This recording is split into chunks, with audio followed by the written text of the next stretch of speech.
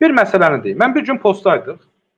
Hər evet. həftənin sonu bizə idarə heyətindən bir yüksək e, rütbəli məmur, e, zabit gəlirdi, bizlə görüşürdü. Problemləri maraqlanırdı. Bir gün e, şəxsi heyətlə iş üzrə, komandirin şəxsi heyətlə iş üzrə müavininin köməkçisi mayor Seydiyev gəldi və adəti üzrə biz düzüldük, bizlə söhbət etdik və dedi ki, əskərlər, mənim siz, sizin bir məsələ haqqında hərbi hissə komandirinin qarşısında bir məsələ qaldıracaq. Təbii ki, əskər də sevinir ki, yəqin bunun yatacaq yerinin və yaxud da digər qidalanmasının və yaxud da xidmətinin yaxşılaşması üçün hansısa bir addım atacaq cənab mayor.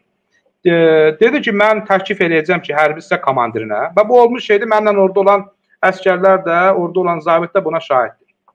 Mən təklif eləyəcəm ki, hərbi hissə komandirinə ki, ən azı həftədə bir dəfə, həftədə bir dəfə sizə kələm dolması verilsin, ən azı həriyə bir dənə kələm dolması verilsin. Mən burada Müdafiə Nazirinə müraciət edirəm. 4 milyarddan çox hərbi büdcəsi olan müqayisə üçün deyim ki, bu eyni büdcə təxminən Gürcüstanın dövlət büdcəsidir. Bir ordunun əskəri həftədə bir dənə, həftədə bir dənə kələm dolması yeməlidir.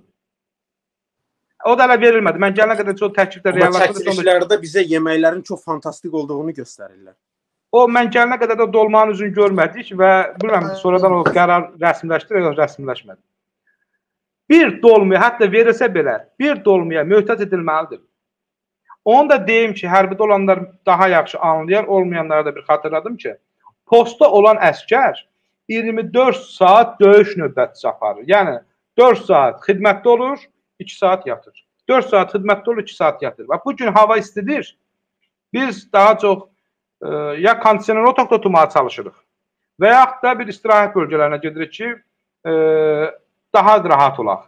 Amma o əskər əynində döyüş gödəkçəsi, yəni hər kəsin anladığı da deyim ki, branjiletlə və ya naqulniklə, bütün hərbiçilər o cür tam bilir, ona görə bu cür deyil. Bununla döyüş növbəsində növbətçiliyindədir. Və düşünün, 30 dərəcədən yuxarı bir temperatur və əynində də o gödəkçə və tam formada. Həmən əskərin sən necə qidasını kəsə bilərsən? Səmən əskərin sən necə təminatını kəsə bilərsən? Bunlar acı reallıqdır, amma deyilməlidir. Kimlərsə yalnız məhdiyyət deməməlidir. Yalnız kimlərsə xoşuna gələn məsələləri qabartmamalıdır. Mən dediyim məsələlər, problemlər təxminən 25 gün əvvəl olduğu məsələlər danışıram. İndi çox şeylər danışmaq olmur, çünki burada hərbi sirlər də var və yaxud da digər məsələlər var. Amma bu so təminat mövzusu var, axı bu büdcə var. Burada 4 milyard dövlət tərəfindən büdcə ayrılır. Hara gedir o büdcələr? Mən hələ demərəm ki, hərbi hissə tikirsiniz, orada camaşırxana tikmək yadınızdan çıxır, nə qədər yeyinti edirsiz, camaşırxana yaddan çıxır. Mən demirəm hələ sizin, nəinki mən deyirəm, bunu artıq OSP beynəlxalq araşdırma şirkətlərinin araşdırması jurnalistə göstərir ki, e, silah alqı satqısında nə qədər pullar hansı məmurlar yeyib. Hələ bunları demirəm. Mən deyirəm elementar bu təminat məsələsinə diqqət edin də. Niyə ad saxlayırsınız o dəmir yumruğu orada? Niyə onun təminatını aşağı edirsiniz? Niyə müharibədə döyüşən zabitin sən maaşını kəsirsən? Niyə əskərin sən maaşını kəsirsən?